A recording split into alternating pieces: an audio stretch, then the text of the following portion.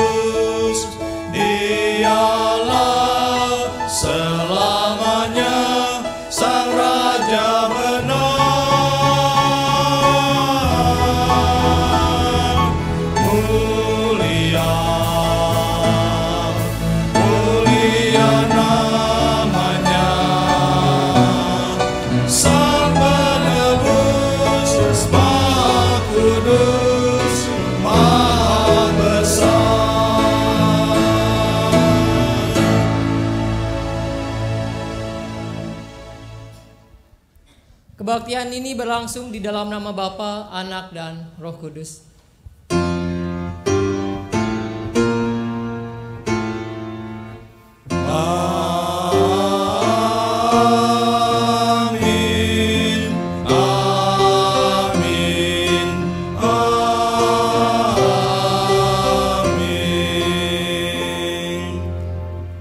Kasih karunia dan damai sejahtera dari Allah Bapa kita dan dari Tuhan Yesus Kristus menyertai saudara-saudari sekalian. Dan menyertai saudara juga. Silakan duduk.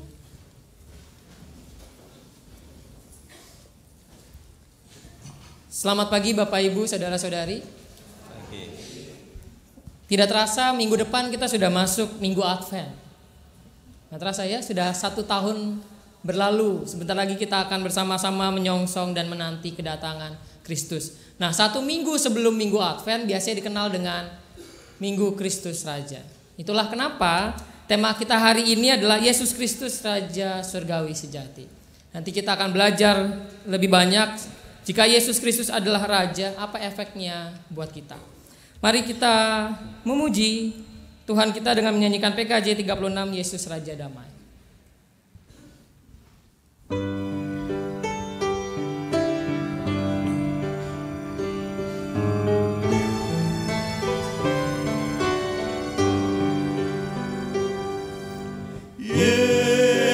Yesus Raja damai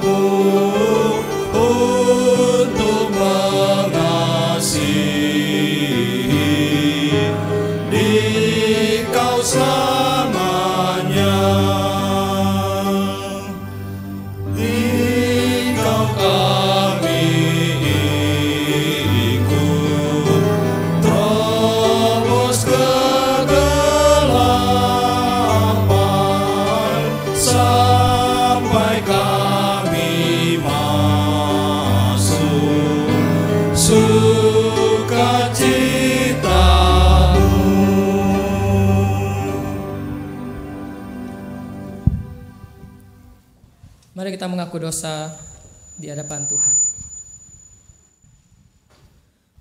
Tuhan kami sadar dalam satu minggu ini kami sering kali menjadikan diri kami sebagai pusat kehidupan kami.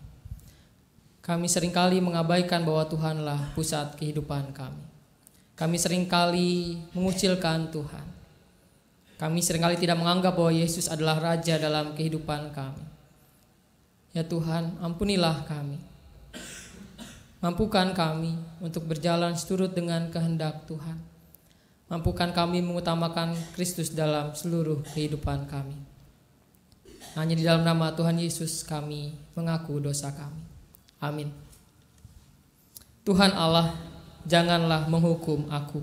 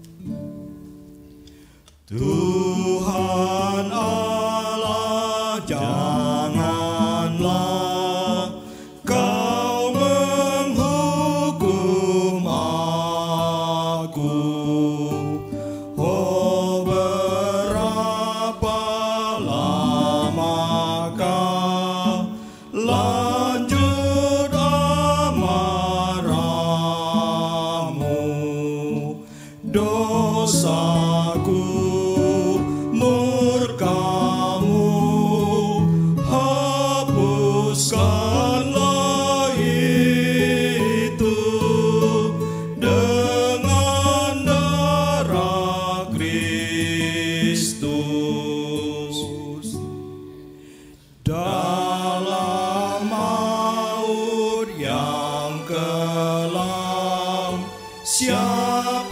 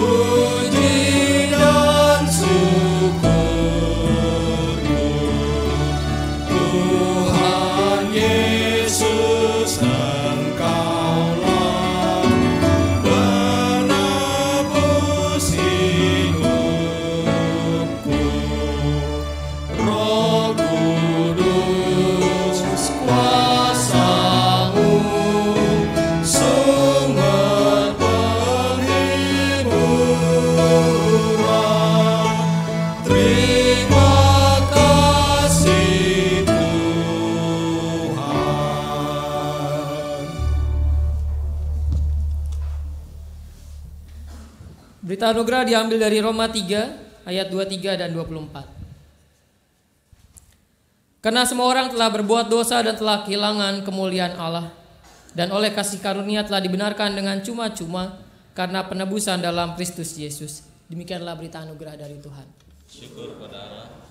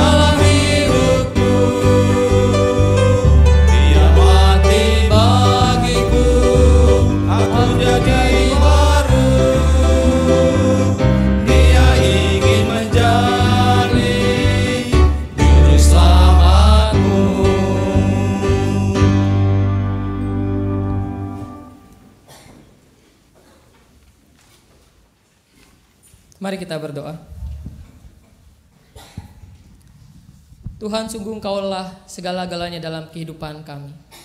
Kami ingin kehendak-Mu lah yang memerintah dalam kehidupan kami.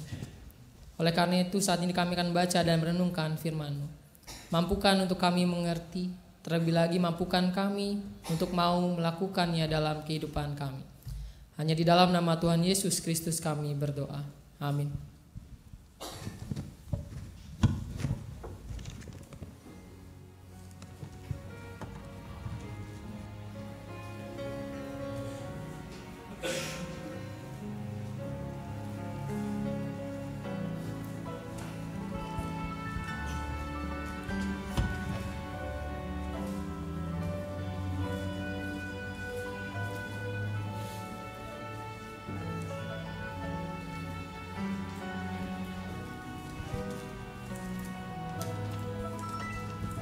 Pembacaan kitab Yeremia 23 ayat 1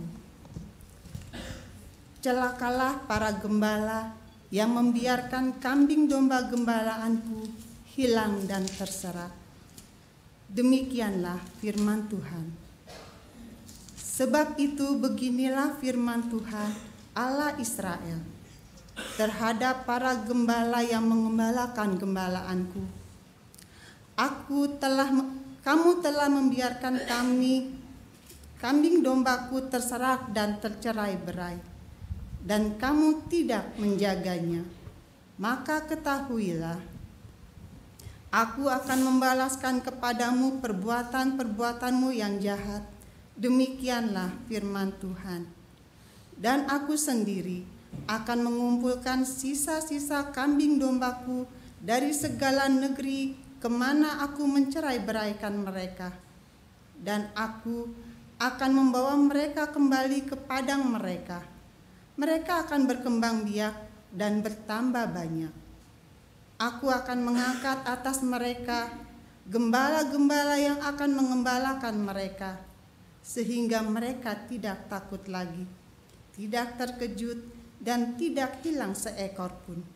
Demikianlah firman Tuhan. Sesungguhnya waktunya akan datang Demikianlah firman Tuhan, bahwa aku akan menumbuhkan tunas adil bagi Daud. Ia akan memerintah sebagai raja yang bijaksana dan akan melakukan keadilan dan kebenaran di negeri. Dalam zamannya Yehuda akan dibebaskan dan Israel akan hidup dengan tentram. Dan inilah namanya yang diberikan orang kepadanya, Tuhan keadilan bagi kita. Demikianlah firman Tuhan.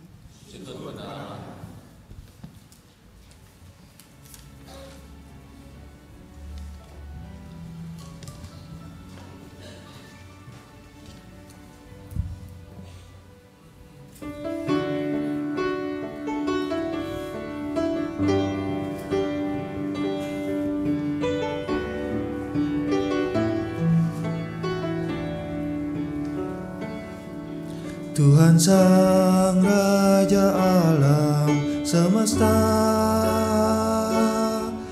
Kota benteng yang teguh. Kau tempat perlindungan yang teduh. Padamu ku percaya राजा समस्ता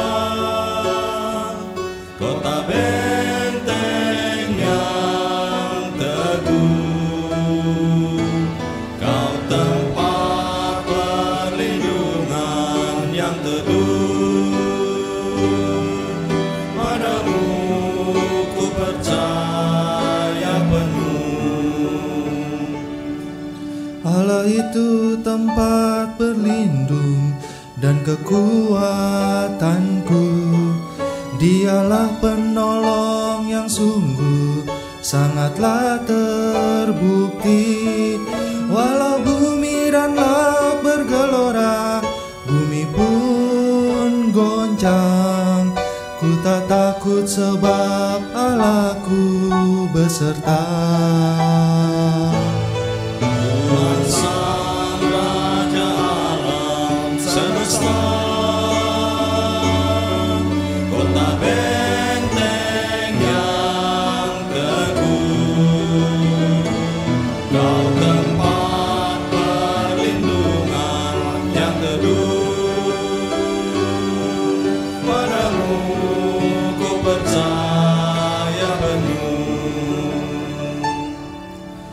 Allah tempat berdiam yang maha tinggi. Di sanalah sungai mengalir menyenangkan hati. Karena Allah ada di dalamnya Kota tak goyah. Allah pasti akan menolong selalu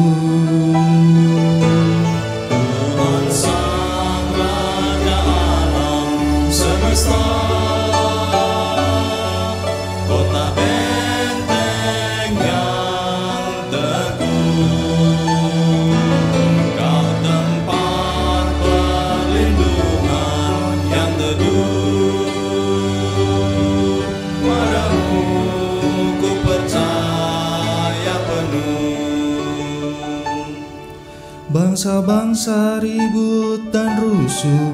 Kerajaan goncang Saat suaranya terdengar. Dan bumi pun hancur. Dia Tuhan Allah semesta Beserta kita. Kota benteng kita adalah Tuhan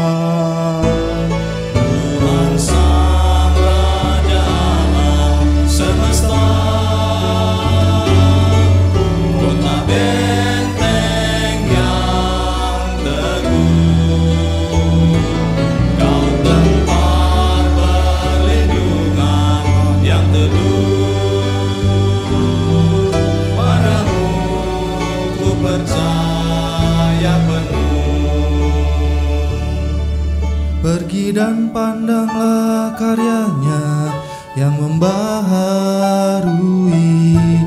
peperangan di muka bumi.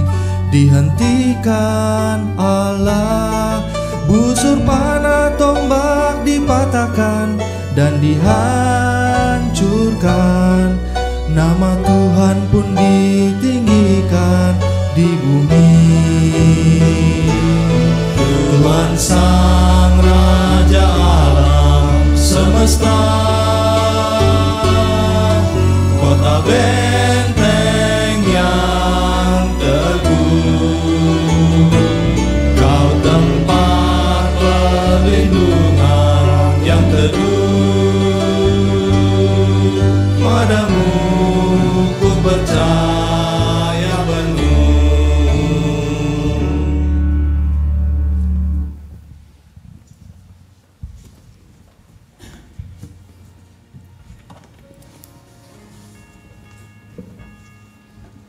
Pembacaan kitab Kolose 1 ayat 11. Dan dikuatkan dengan segala kekuatan oleh kuasa kemuliaannya untuk menanggung segala sesuatu dengan tekun dan sabar dan mengucap syukur dengan sukacita kepada Bapa yang melayakkan kamu untuk mendapat bagian dalam apa yang ditentukan untuk orang-orang kudus di dalam kerajaan terang. Ia telah melepaskan kita dari kuasa kegelapan dan memindahkan kita ke dalam kerajaan anaknya yang kekasih. Di dalam dia kita memiliki penebusan kita, yaitu pengampunan dosa. Ia adalah gambar Allah yang tidak kelihatan, yang sulung, lebih utama dari segala yang diciptakan. Karena di dalam dialah telah diciptakan segala sesuatu yang ada di surga dan yang ada di bumi, yang kelihatan dan yang tidak kelihatan, baik singgasana maupun kerajaan, baik pemerintah maupun penguasa.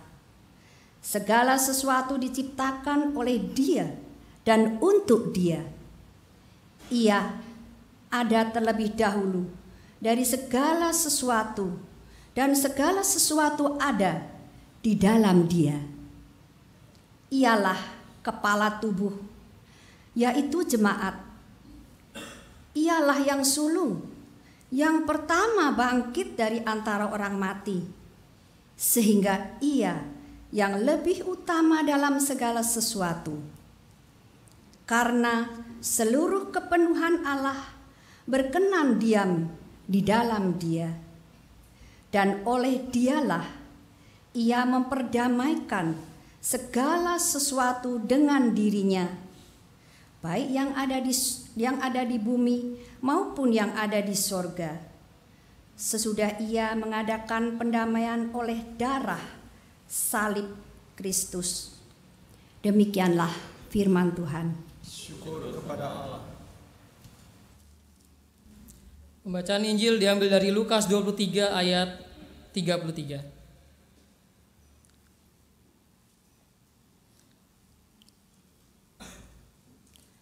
Ketika mereka sampai di tempat yang bernama Tengkorak, mereka menyelipkan Yesus di situ dan juga kedua orang penjahat itu yang seorang di sebelah kanannya dan yang lain di sebelah kirinya. Yesus berkata, "Ya Bapa, ampunilah mereka sebab mereka tidak tahu apa yang mereka perbuat." Dan mereka membuang undi untuk membagi pakaiannya. Orang banyak berdiri di situ dan melihat semuanya. Pemimpin-pemimpin mengejek dia katanya. Orang lain ia selamatkan, biarlah sekarang ia menyelamatkan dirinya sendiri. Jika ia adalah Mesias orang yang dipilih Allah. Juga prajurit-prajurit mengolok-olokkan dia. Mereka mengunjukkan anggur asam kepadanya dan berkata, "Jika engkau adalah raja orang Yahudi, selamatkanlah dirimu." Ada juga tulisan di atas kepalanya, "Inilah raja orang Yahudi." Seorang dari penjahat yang digantung itu menghujat dia katanya, Bukankah engkau adalah Kristus? Selamatkanlah dirimu dan kami. Tetapi yang seorang menegur dia katanya, Tidakkah engkau takut juga tidak kepada Allah, sedang engkau menerima hukuman yang sama? Kita memang selayaknya dihukum, sebab kita menerima balasan yang setimpal dengan perbuatan kita. Tetapi orang ini tidak berbuat sesuatu yang salah. Lalu ia berkata, Yesus, ingatlah akan aku apabila engkau datang sebagai raja. Kata Yesus kepadanya, Aku berkata kepadamu, sesungguhnya hari ini juga engkau akan ada bersama-sama dengan aku di dalam Firdaus. Demikian pembacaan firman Tuhan, berbagilah mereka yang mendengarkan firman Allah dan yang memeliharanya. Haleluya. Haleluya,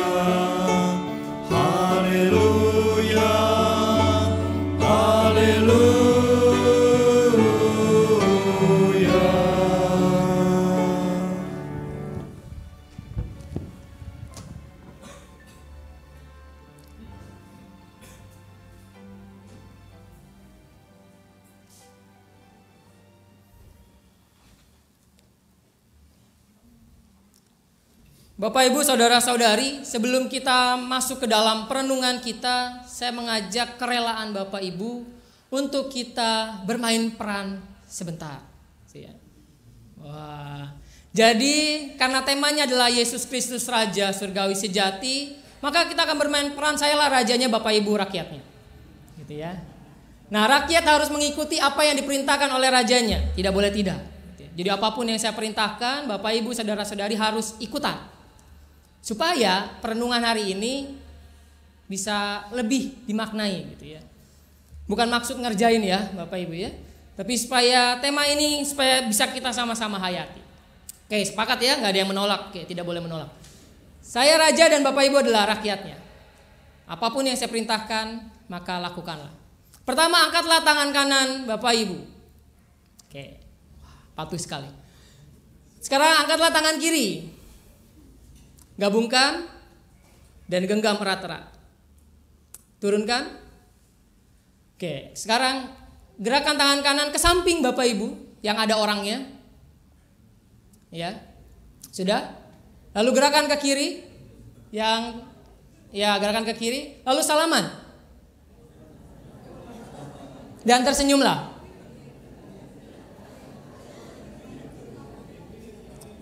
Sudah semuanya?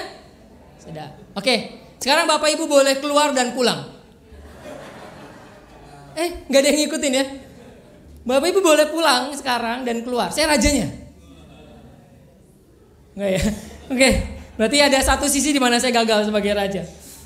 Ya, Bapak Ibu ketika berbicara tentang raja maka ada yang jadi rakyat dan ada yang jadi raja. Ketika berbicara Yesus Kristus raja surgawi sejati, maka yang menarik yang menjadi pertanyaan kita adalah apa efeknya buat kita? Karena saya sering ketemu begini, kita kan sekarang lagi marak eh, yang namanya pilkada begitu ya. Banyak orang-orang terserah lah mau yang jadi gubernur nanti siapa, nggak ngaruh lah buat saya gitu ya. Masa bodoh saya tetap dagang ya, jualan tempe goreng ya tempe goreng nggak mungkin disuruh tiba-tiba jadi jualan ayam goreng gitu ya. Jadi nggak ada efeknya buat saya. Mau itu siapa pun yang jadi gubernurnya, saya tetap tinggal di rumah kecil dengan listrik yang cuma 450 watt, ya udah nggak ada ngaruhnya, itu kira-kira. Nah, ketika Yesus Kristus sebagai raja untuk kita, apa efeknya? Itu kan pertanyaannya ya. Apakah sama seperti yang tadi saya bicarakan gitu ya? Oh enggak, mau Yesus itu sebagai raja, mau bukan, mau yang jadi raja surgawi itu Yesus atau bukan, enggak efek. Saya tetap nanti akan mati. Saya tetap kalau nggak makan ya lapar begitu ya. Kalau nggak kerja ya nggak dapat duit. Jadi mau Yesus itu raja atau bukan nggak ngefek. Apakah memang ketika Yesus sebagai raja tidak ada efeknya buat kita? Nah itu yang mau kita pertanyakan ya. Apa sih efeknya? Jangan-jangan nggak ada efeknya sama sekali. Yesus Kristus Raja Surgawi sejati. Dan ketika berbicara tentang raja, maka Bapak Ibu ketika Yesus mengklaim bahwa dirinya adalah raja, bahkan juga kita mengklaim bahwa Yesus adalah raja, di sana kita punya penghayatan bahwa apa yang Yesus perintahkan harusnya kita ikuti. Itu idealnya begitu ya. Yesus bilang apa, maka harus diikuti kayak tadi lah ya. Saya bilang angkat tangan semuanya ikut ya, kecuali yang tadi suruh keluar ya. Angkat tangan maka semua ikut. Maka apa pun yang harusnya diperintahkan oleh Yesus, maka kita harus ikut. Idealnya seperti itu. Cuma sayangnya, tidak semua raja itu baik. Dan perintahnya itu bagus. Seringkali banyak raja-raja yang egois ketika memberikan perintah. Dan ngaco kayak tadi, ketika saya jadi raja ngaco ya. Mau kebaktian disuruh pulang. Silakan keluar dan pulang. Nah, bagaimana dengan Yesus? Apakah perintahnya ngaco? Apakah perintahnya juga itu sering kali membuat kita ah ini gimana sih? Ini kayaknya Tuhan egois nih. Cuman mau kepentingan dia sendiri. Nah kita mau lihat ya, apakah memang ketika Yesus Kristus sebagai Raja, maka kita mengalami, saya, saya pernah baca sebuah tulisan kok ya, pernah baca sebuah tulisan yang uh, bunyinya seperti ini kira-kira. Saya nggak tahu apakah Bapak Ibu juga mempunyai pemahaman seperti ini. Ketika Tuhan berada di atas puji-pujian, maka Tuhannya narsis katanya. Jangan-jangan kita pernah mikir gitu atau mungkin kita yang nulis itu gitu ya.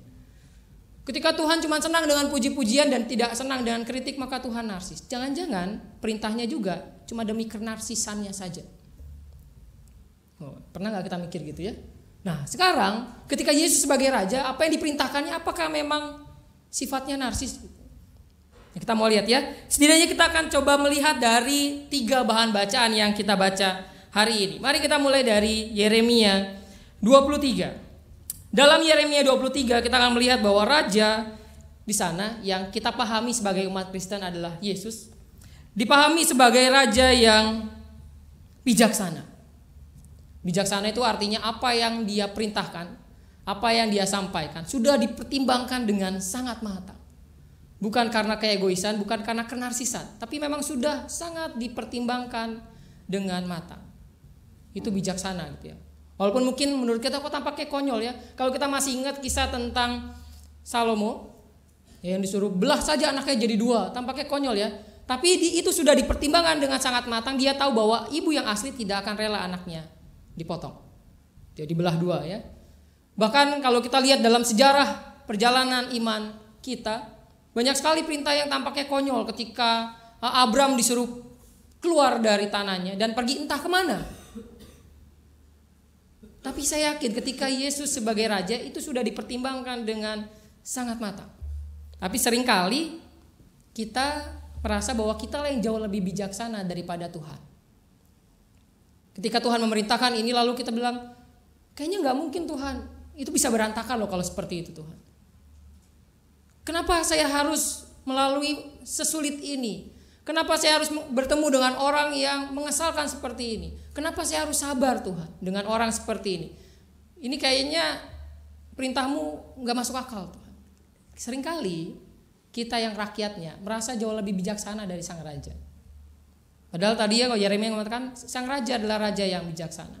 Tapi sering kali kita mengambil peran itu dan umat beragama suka banget kayak gitu ya, mengambil perannya Tuhan, menjadi Tuhan, menjadi jauh lebih bijaksana dari Tuhannya, bahkan memberikan usulan kepada Tuhannya. Seakan-akan Tuhan tidaklah sebijaksana apa yang dipikirkan. Tapi Yeremia menekankan bahwa Tuhan sang raja itu adalah raja yang bijaksana. Jadi apa yang terjadi dengan kehidupan kita, apa yang Tuhan perintahkan untuk kita, itu sudah dipertimbangkan dengan sangat matang. Ketika kita diminta untuk melalui jalur yang begitu terjal, saya yakin Tuhan sudah mempertimbangkannya dan itu yang terbaik buat kita. Lalu Yeremia juga bilang bahwa Tuhan itu adil dan raja itu adalah raja yang adil dan benar. Perintahnya pastilah bukan perintah yang diskriminatif. Saya yakin. Ketika Kristus sebagai raja memberikan perintah kepada kita, saya yakin perintahnya pastilah bukan perintah yang menyudutkan golongan dan suku tertentu.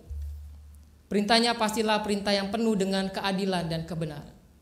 Tidak mungkin ada yang mengajarkan atau perintah Tuhan mengajarkan bunuhlah agama itu, suku itu. Bencilah mereka, usirlah mereka dari tempatmu dan lain sebagainya. Ketika Yesus sebagai raja, maka yang disampaikan adalah keadilan dan kebenaran. Dan yang menarik adalah kalau kita baca selanjutnya, sang raja itu mengasihi Yehuda dan juga Israel. Kalau kita baca ya, kalau kita baca dalam Yeremia tadi, Yehuda dibebaskan, Israel hidup tentram. Bapak Ibu, Yehuda dan Israel adalah dua kubu yang saling bertengkar. Yang saling dalam setiap kisah perjalanannya mencaci dan menghina. Gitu ya. Tapi Allah mengasihi dua-duanya. Sang raja mengasihi dua-duanya, tidak pilih kasih. Begitu juga dalam kehidupan kita. Tuhan mengasihi kita dan juga mereka yang berasal dari agama lain yang sering kali berseteru dengan kita. Dua-duanya begitu dikasih. Oleh karena itu tidak mungkin sang raja memberikan perintah yang diskriminatif, yang menyudutkan, yang membuat kita membenci yang lainnya. Ketika Yesus sebagai raja maka pasti perintahnya adalah perintah yang adil dan benar. Dari Yeremia kita mendapatkan sang raja seperti itu. Nah, mari kita lihat bagaimana sang raja dipahami dalam bacaan kita yang kedua, Kolose tadi.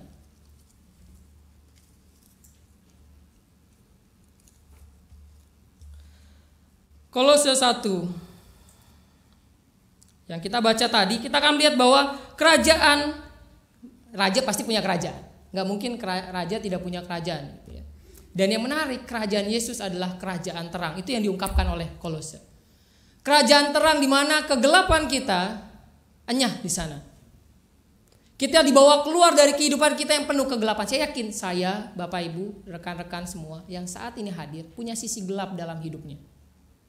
Entah itu masa lalu, entah itu sekarang. Entah itu yang disesali atau yang belum disesali sampai sekarang. Kita pasti punya sisi gelap dalam kehidupan. Dan ketika Yesus sebagai raja, dia menawarkan kalau kita masuk ke dalam kerajaannya, kita diajak untuk hidup dalam terang. Bukan kerajaan yang penuh kegelapan, tapi kerajaan yang penuh terang. Di sanalah kita diampuni dosanya dan kita diajak untuk hidup dalam terang. Oleh karena itu, tidak mungkinlah perintahnya jika Kristus adalah raja terang itu, tidak mungkin perintahnya mengajak kita hidup dalam kegelapan. Pasti mengajak kita keluar. Menyadari bahwa kita selama ini mungkin hidup dalam kegelapan. Entah itu perselingkuhan, entah itu kebencian terhadap sesama, atau mungkin agama lain. Entah itu juga mungkin korupsi dalam pekerjaan kita. Entah itu juga mungkin kebencian kepada pasangan hidup kita atau entah kegelapan lain yang sedang kita sembunyikan saat ini. Dan ketika Yesus sebagai raja dia menawarkan mari hidup bersamaku dan hiduplah dalam terang. Lalu ketika kita baca Lukas kita menemukan bahwa ketika berbicara tentang raja kerajaan yang disampaikan oleh Lukas dan raja surgawi itu adalah raja yang bukan nanti tapi sekarang. Ini yang menarik. Makanya kalau tadi kita baca Lukas 11 ayat yang ayat yang ke-43 tadi ya. Lukas 23 maaf, Lukas 23 ayat yang ke 40 maaf, tadi mana tutup. Lukas 23 ayat yang ke 43 Kata Yesus kepadanya, "Aku berkata kepadamu, sesungguhnya hari ini juga engkau akan ada bersama-sama dengan aku di dalam Firdaus." Padahal mintanya penjahat yang tadi itu kan Yesus ingatlah akan aku apabila engkau datang sebagai raja. Yesus bilang hari ini juga. Seringkali kita menganggap bahwa nanti aja lah gitu. Yesus itu kan raja nanti di surga gitu. Makanya tema kita kan raja surgawi sejati gitu. Nantilah itu di surga. Tapi Yesus mengatakan bahwa dia adalah raja sekarang, saat ini. Saat ini juga. Dialah raja dalam kehidupan kita. Dialah raja yang memang layak memerintah kehidupan kita. Bukan hanya nanti. Tapi sekarang, saat ini di saat kita hidup. Raja itu juga yang akan memperdamaikan segala sesuatu. Baik di bumi atau di surga. Tadi kita baca ya.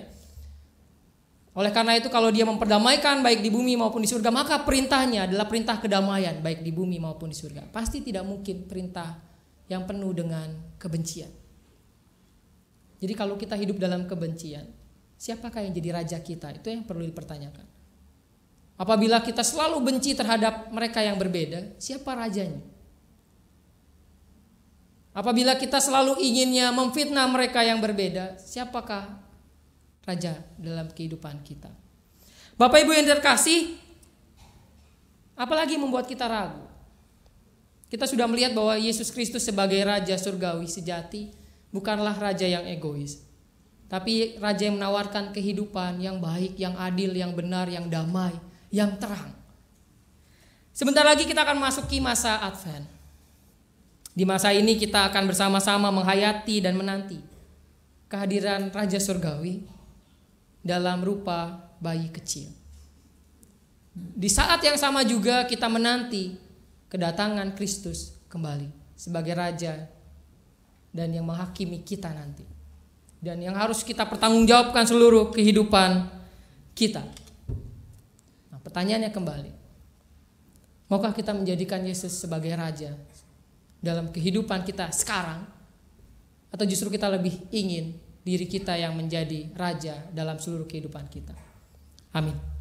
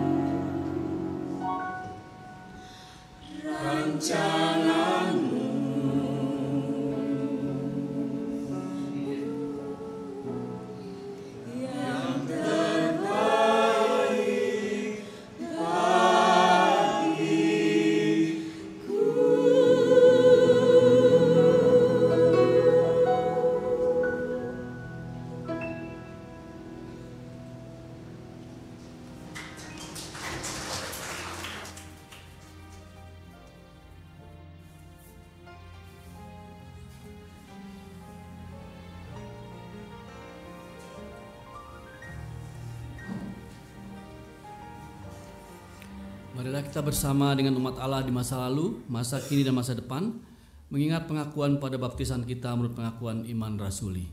Aku percaya pada Allah, Bapa yang Maha Kuasa, Halik langit dan bumi, dan pada Yesus Kristus, anak yang tunggal Tuhan kita, yang dikandung dari Roh Kudus, lahir anak darah Maria, yang berita sengsara di bawah pemerintahan Pontius Pilatus, disalibkan, mati dan dikuburkan, turun dalam kerajaan maut. Pada hari yang ketiga, bangkit pula dari antara orang mati, naik surga, duduk sebelah kanan Allah, Bapa yang Maha Kuasa. Dan dari sana yang akan datang untuk menghakimi orang hidup dan yang mati. Aku percaya pada Roh Kudus, gereja yang kudus dan am, persekutuan orang kudus, pengampunan dosa, kebangkitan orang mati dan hidup yang kekal.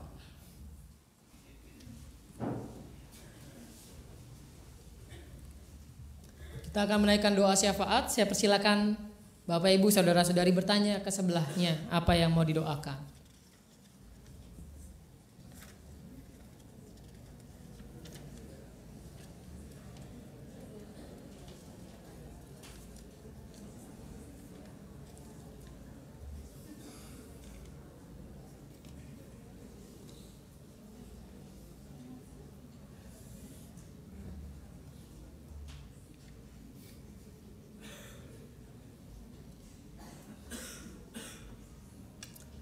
Sudah mari kita bersatu dalam doa.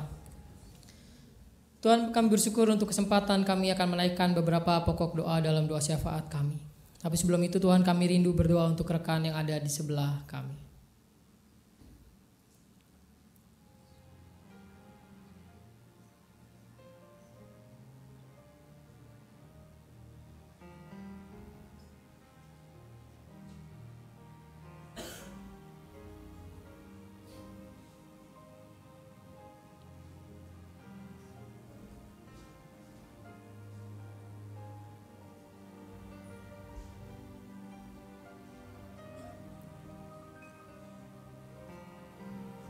Tuhan inilah doa kami untuk rekan-rekan kami.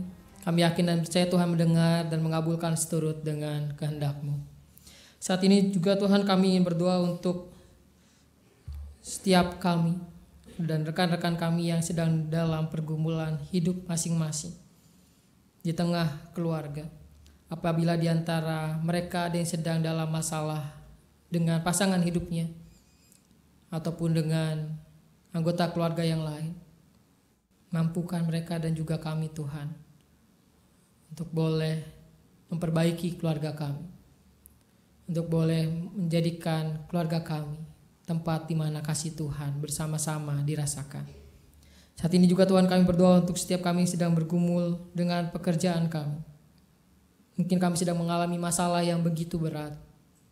Mungkin juga banyak tekanan dalam pekerjaan kami. Ajar kami untuk kuat dan mampu mengatasinya. Ajar kami untuk bijaksana, bertindak, dan melakukan hal yang baik. Saat ini juga Tuhan kami berdoa untuk setiap kami yang sedang mencari pasangan hidup. Ajarlah kami pertama-tama untuk melayakkan diri kami. Agar kami layak untuk hidup bersama dengan orang yang nanti Tuhan akan utus bagi kami. Ajarlah kami Tuhan untuk pertama-tama menjadi pasangan yang baik. Dan kami yakin akan tiba waktunya di mana kami akan bertemu dengan orang yang kami cintai dan yang mencintai kami. Saat ini juga Tuhan kami berdoa untuk setiap kami dalam segala pergumulan yang tidak mampu kami ucapkan. Kami yakin Engkau tahu Tuhan, setiap yang sedang kami alami, yang sedang kami gumulkan dan perjuangkan. Mampukan kami untuk boleh menyelesaikan setiap pergumulan, setiap permasalahan, dan setiap hal yang sedang kami perjuangkan. Saat ini juga Tuhan kami berdoa bagi setiap keluarga di tengah jemaat ini dengan segala macam konflik, dengan segala macam berkat dan anugerah yang Tuhan beri. Biarlah keluarga keluarga ini boleh menjadi penopang-penopang gereja dan boleh menjadi berkat di mana pun mereka berada. Saat ini juga Tuhan kami berdoa untuk setiap jemaat dan simpatisan yang sedang sakit maupun dalam masa pemulihan. Kiranya Tuhan yang memampukan mereka melalui obat-obatan, melalui perawatan, melalui tindakan medis, dan juga melalui tenaga medis yang turut merawat. Biarlah semuanya boleh membantu proses penyembuhan dan pemulihan. Kami juga berdoa untuk para lanjut usia, di tengah usia yang semakin lanjut, di tengah keadaan fisik yang semakin menurun. Kiranya Tuhan selalu limpahkan kesehatan, sukacita, dan hidup yang penuh ungkapan syukur karena anugerah Tuhan. Kami juga berdoa Tuhan untuk panitia Natal 2016 yang sudah terbentuk. Kiranya Tuhan yang memampukan mereka untuk boleh bersama-sama mengolah dan memimpin acara mulai dari Advent 1 hingga nanti tahun baru. Kiranya Tuhan yang boleh pimpin dan sertai setiap panitia yang terlibat. Di tengah kesibukan mereka, baik di keluarga maupun di pekerjaan, ajarlah mereka boleh membagi waktu dan berikan kreativitas sehingga mereka juga boleh memikirkan pelayanan, kegiatan ataupun hal-hal lain yang berguna untuk seluruh rangkaian acara Advent dan Natal nanti. Saat ini juga Tuhan kami berdoa untuk pengurus badan pelayanan yang sedang menjalankan program kerja tahun 2016-2017. Ajarlah setiap kami yang terlibat di dalamnya untuk melayani karena kami ingin melayani Tuhan, bukan karena kami ingin melayani program-program yang kami buat. Biarlah program yang kami buat boleh menjadi sarana kami menyukakan hati Tuhan dan menyalurkan berkat kepada jemaat yang ada di tempat ini maupun yang ada di sekitar kami. Saat ini juga Tuhan kami berdoa untuk proses pengurusan izin rumah ibadah GKI Kafling Polri. Kami tahu tidak mudah ya Tuhan, tapi kami yakin Tuhan tidak meninggalkan kami. Tuhan menyertai kami. Tuhan yang melembutkan hati setiap mereka yang terlibat di dalamnya. Dan setiap urusan birokrasi yang harus kami lewati. Kiranya Tuhan yang selalu menyertai dan memimpin. Saat ini juga Tuhan kami berdoa untuk pemerintahan negara Republik Indonesia. Di tengah banyaknya gejolak, di tengah panasnya masa politik saat ini. Ya Tuhan kiranya mampukan setiap kami pertama-tama berpikir jernih. Tidak saling membenci, tidak terpecah belah karena kepentingan politik masing-masing. Ajar kami Tuhan menjadi pembawa damai. Ajar kami Tuhan untuk boleh bersama-sama bergandengan tangan. Apa pun pilihan politik kami, ajar kami tetap menjaga kesatuan negara kami. Kami bersyukur atas kesempatan kami boleh menaikkan doa ini. Kami naikkan doa syafaat kami seturut dengan doa yang telah Tuhan ajarkan kepada kami. Apakah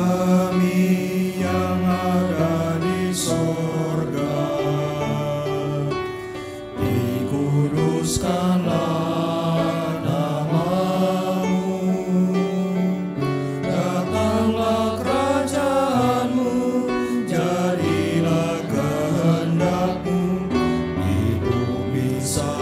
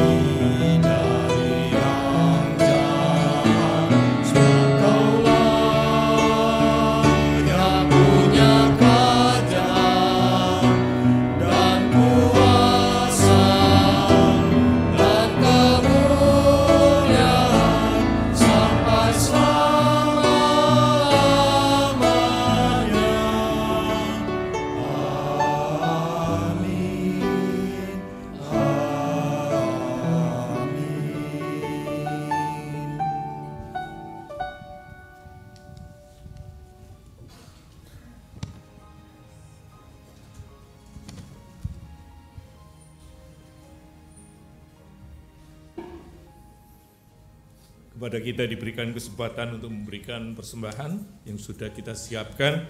Mari kita mendengarkan firman Tuhan dari Yunus 2 ayatnya yang ke-9. Tetapi aku dengan ucapan syukur akan kupersembahkan korban kepadamu. Apa yang kunasarkan akan kubayar. Keselamatan adalah dari Tuhan. Umat akan menyanyikan BKJ 149 bait pertama dan kedua. Ucap syukur pada Tuhan.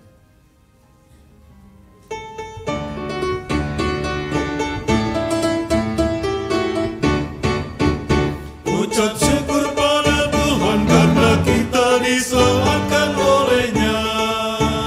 Senandungkan lagu baru, senandungkan lagu baru baginya. Nyanyikanlah dengan riang karena kasih setia